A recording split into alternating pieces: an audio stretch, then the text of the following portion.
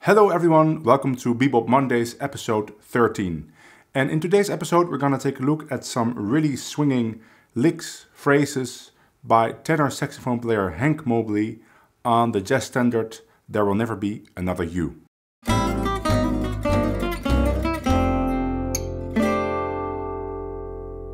So this morning I transcribed the complete solo and I extracted some phrases that I thought would be nice to discuss and to show you how to play them on guitar. Of course, go listen.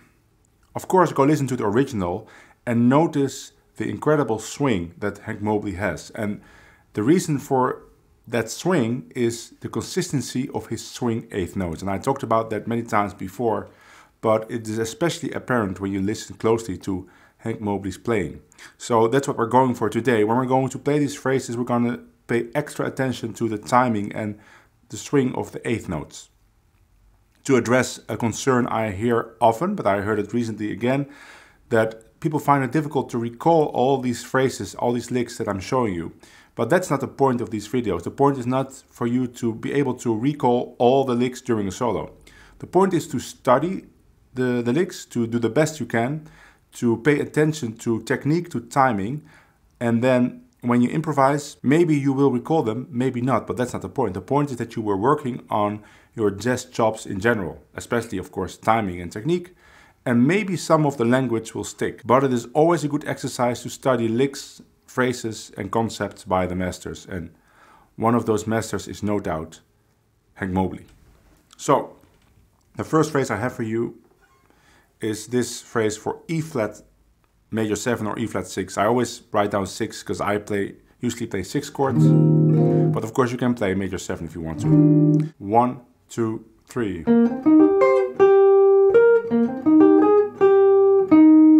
1, 2, 3. So this is a, a, quote from, I think, another song. I can't recall the song now, but this is something that Hank Mobley plays often. It's one of his signature licks, you could say. And this is a variation of uh, the normal phrase, which is exactly the same notes, but the rhythm would be, instead of playing this, you play the C in the second bar and the A flat in the third bar, they become quarter notes. Instead of so, but that, that's your choice. You can phrase that however you want. So let me play that on the backing track. There's a backing track for this song on my channel. There's a link to the backing track in the description. So we can play this in the first two bars. We can play that in the first two bars of the second half. I think that's it. That's basically it.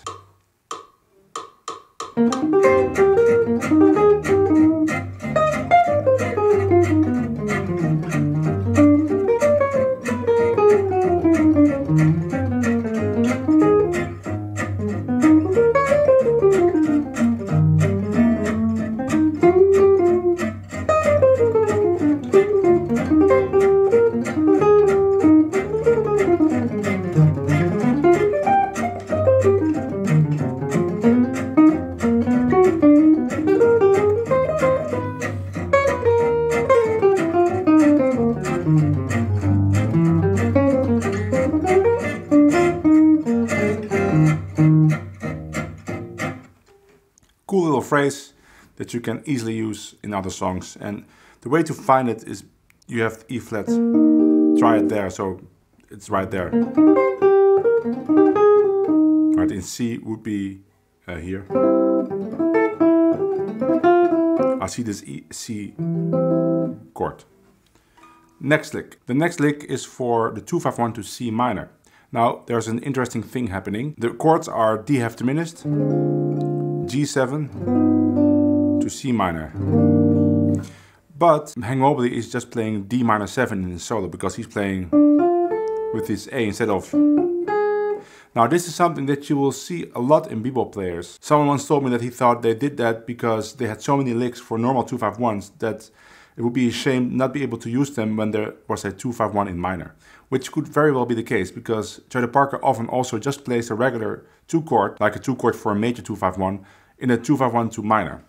And you, you can say, well, that's really wrong to play this A on top of that D half diminished. And if you play a D half diminished and then play, yeah, that would be wrong. But you have to look at the complete line and notice that the A actually resolves to an A flat on the G7. Right, so it's not like there is extra emphasis on the A, it's just part of this phrase, and it's probably a regular 251 in C major that he often played. Right, and now he just resolves this phrase to minor. Let me play it once in time and let's put extra emphasis on the swing eighth notes, like the consistency of it. Do, do, do, de, do, three, four, one.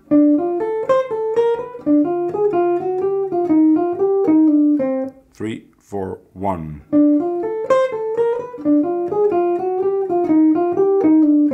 It's pretty hard to play consistent swing eighth notes, especially on the guitar, especially when you have a picking technique like mine, which is based on gypsy jazz picking, or it is gypsy jazz picking, where you have lots of sweeps.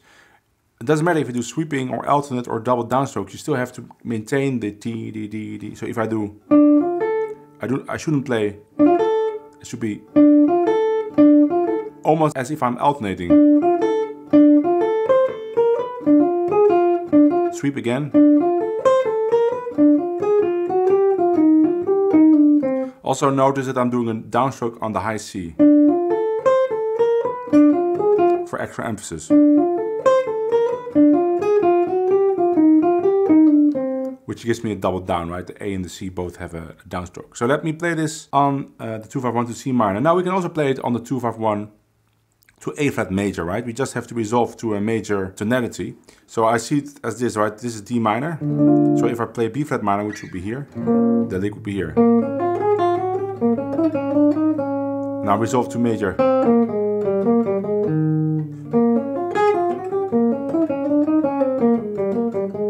And of course we can also play it then to E flat, so then F minor would be here.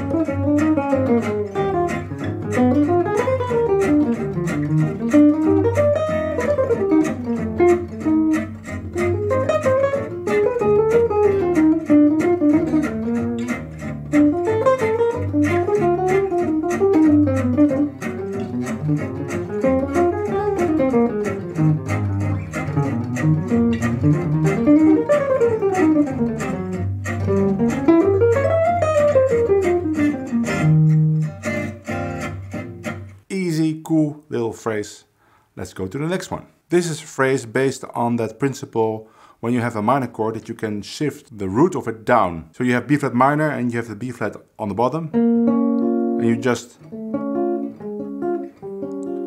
all the way until the G and then you have E flat 7 there. So that principle you can use in comping, but you can also use it in your solo and that's what Hank Mobley is doing here. One, two, three, four.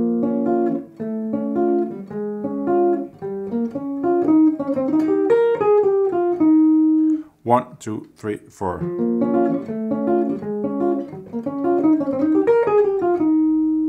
So the nice thing is that we can find it very easily by just playing a B flat minor bar chord, right? But I play it like this without the, without the root. And you start the lick like that. Before the beat one, one, two, three, four. And I like to keep the notes down to keep them ringing, which is something of course you can do on the saxophone, but it is a nice thing to do on guitar. If you don't like that, you can lift your fingers.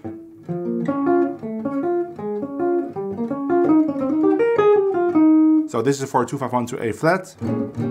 Of course, we can play it in E flat by playing it here on the first position because F minor is here. But then we have some open strings. One, two, three, four.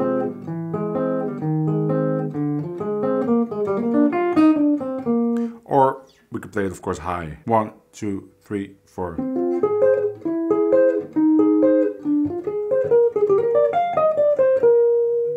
Let's try that on the backing track.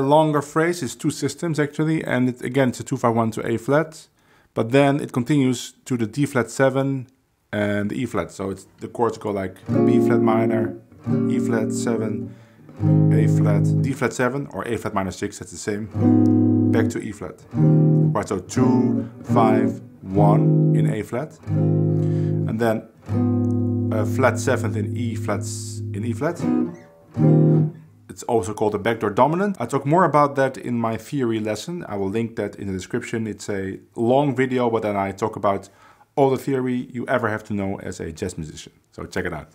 He just plays very nice, continuing ideas, really typical bebop phrases. So let's play that. One, two, three, four, one.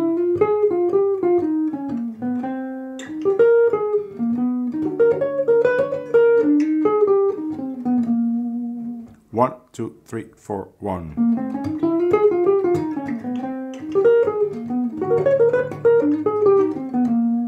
Of course, we could play that to E flat 2.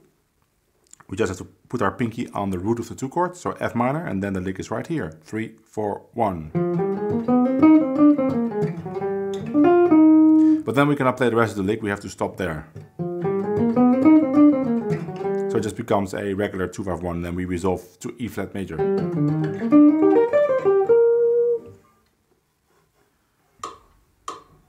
And here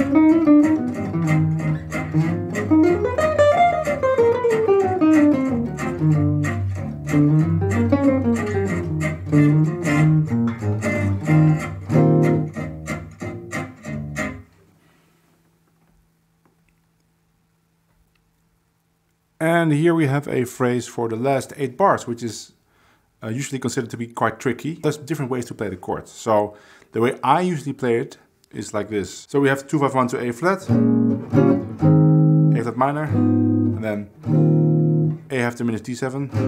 And I do G minor, D7, G minor, C7, F minor, E flat 7, E. But in gypsy jazz, for example, they usually do this. E flat, D flat, D flat 7, C7. So descending dominant chords. I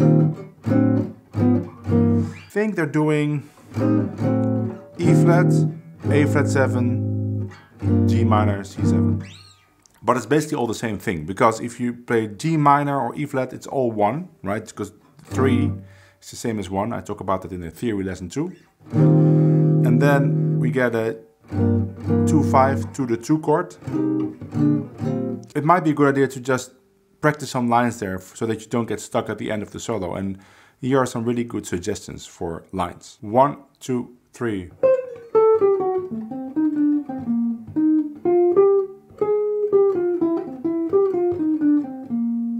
I see now that the tab is not correct, it's on the wrong string. So I will, I will change that because you can download these steps on my Patreon. So I will fix that and then if you want to have a copy of the tab, check out my Patreon. There's a link in description where you can download all the tabs for every video I ever made, depending on the level that you join. But if you join the lowest level, which is $5, you can still download this one. So it should be on lower strings or higher on the guitar neck. One, two, three.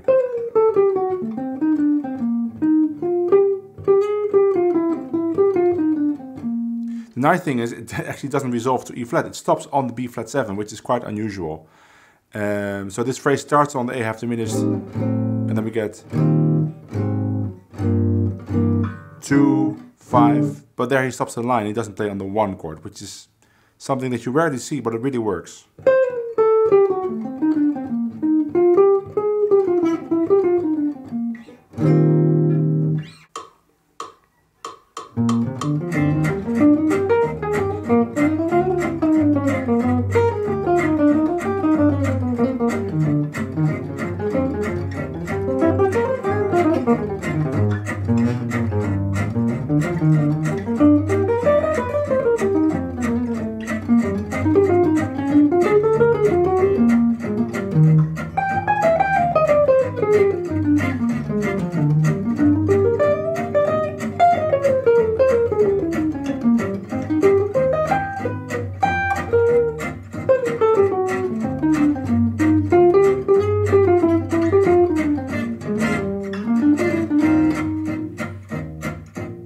So I did resolve to E flat now. a bit extra. It's very hard for me to not resolve to E flat, but that's maybe worth practicing because it's a kind of a novel idea not to resolve to the one chord, but stop on the five. And I have another phrase for the same part, the last eight bars, but now without the A half diminished D7. And this one does resolve, although on the four end of the bar before. And sounds like this. One, two, three, four, one.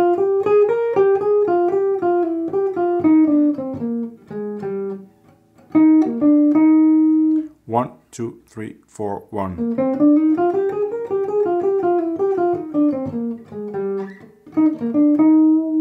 So again, these are all eighth notes, so we gotta make sure that it keeps swinging, that we keep the eighth note swing consistent. Which means that every long note of a group of two eighth notes is as long as every other long note and every short note is as short as every other short note, right? Da, di, di, di, di, di, di. Even if we slide,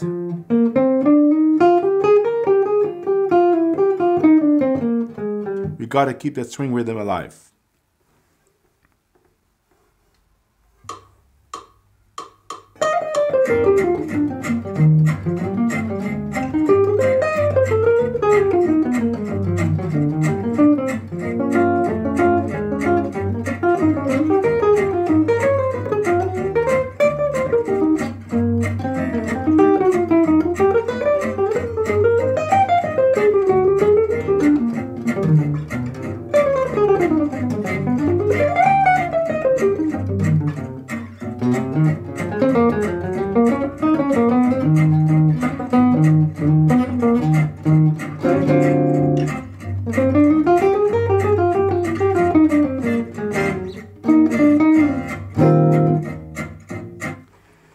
There you go, six very cool Hank Mobley phrases. I hope you will have fun with it and don't forget to focus on the swing. And I will see you all in the next video. Bye!